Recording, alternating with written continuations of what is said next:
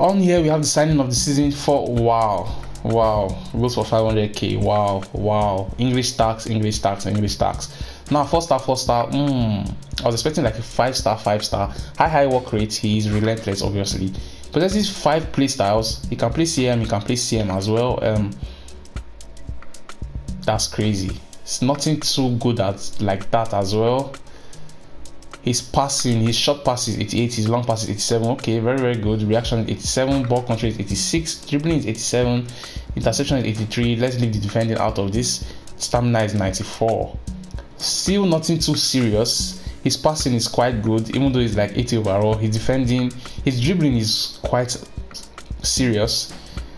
And I'm amazed because this guy doesn't really dribble, you know his reaction is 87 um his dribbling is 87 as well. So yeah play styles is 5 so what is the gold one here? He is physical.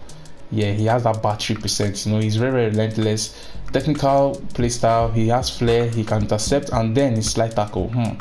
nothing too serious. Again nothing too serious. This is very very made from ea this has to be made